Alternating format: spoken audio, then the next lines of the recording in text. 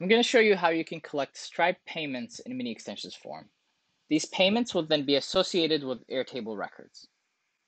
So let's go ahead and start with a very basic example here. In this example, the user doesn't specify a product or a quantity or anything. We just have a predefined price that we want them to pay for. So I'll just go ahead and set up a test email here and submit the form. Once we submit the form, we get redirected to Stripe. This is currently running in test mode, but in real life, you'd just run it in production. Um, in test mode, I'll be using a fake credit card. This is a standard fake credit card to use in test mode. And all the other information here is, is not real. So this is not a real payment, but when you set this up, you can collect real payments. And notice how the email here is, is the same email that I entered in the form. So the payment that we make in Stripe is associated with that same email we entered into the form. We submit this payment, then get redirected to a success message. Now, this success message can be customized, and you can also choose to send your users instead to a custom URL. I want to show you now what that payment that we just created looks like in the Airtable. So we can see this is the email I used, and then we can see that the payment status is paid. Now notice how the one above it doesn't say paid. This is because the user used the form, created the product, uh, created the record, got redirected to Stripe, but never actually finished the Stripe payment. Now, let's see what that payment that we just did looks like in Stripe. So I'll go over here, I'll select the customer, I'll see that payment over here, that's good. And um, one, one thing I wanna uh, showcase here is the record ID. So each payment we make is associated with the exact record ID so that you can cross-check between Airtable and Stripe. Now I want to set up a an example that is a lot more sophisticated, and it's an example in which you know, the user can select a product, they can select a quantity and stuff like that.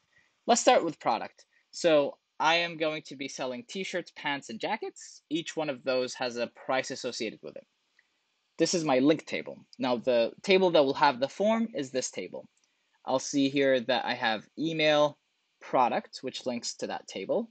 Um, I have a lookup field, product price, that showcases the price of that particular product, the name of the product, and then the quantity, and then the payment status. So, for example, user A at example.com here bought a t-shirt, it was 15 bucks, and they bought one. User B here bought a bought pants, they were 30 bucks and they bought two, so they paid a total of 60. Now let's go and actually set up the form. Let me refresh here. So if you have never set up a form before, please follow this URL to go through step by step on how to do that.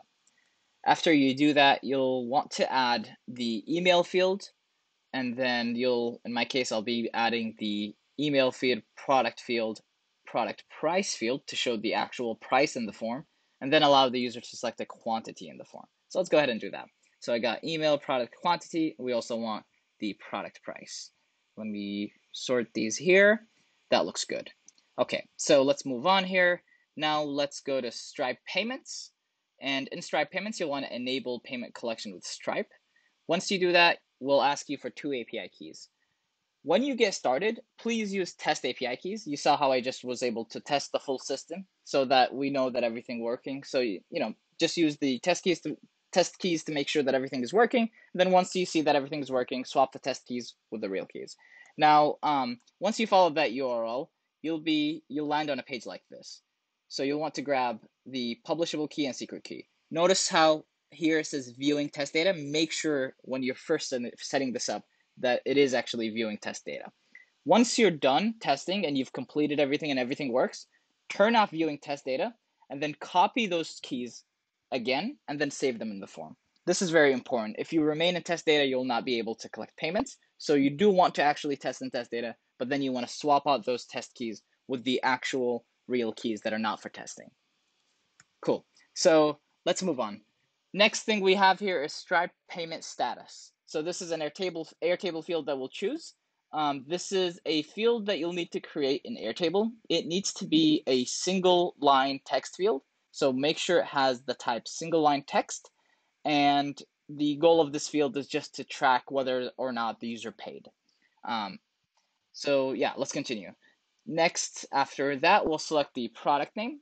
This is a lookup field in our case, um, and it just, um, it's a lookup field because we'll need to show the name within the checkout page. Next here is the product price. So in our case, it's product price, also a lookup field. Um, next here is quantity. This is just a number field on the form. The user will enter the quantity so that we calculate the total price. After that, we'll be choosing an email. Um, so in my case, I've already added that to the form. And if you'd like to change the currency, go ahead. Let's go ahead and save this. All right, let's try this form out. So I'll start with an email. Um, I'll do this again, and then I'll select a price. Let's do t-shirt. I'll see the price of the t-shirt, and then I'll do, let's say, three t-shirts. Let's go ahead and save. Cool, we get redirected to Stripe. Three t-shirts, 15 each. Notice the name here, that's the product name. So just to break it down here, product name, quantity, price. This is all coming from Airtable um, and the email we entered on that form. Let's do the same thing here. All right, cool. And this again, this again, and this again. Cool. Now let's go ahead and pay for this. Like I said, this is all test test mode, so you can test this as much as you'd like in test mode. Cool, so we created that record. Now let's go see what that looks like in the Airtable now.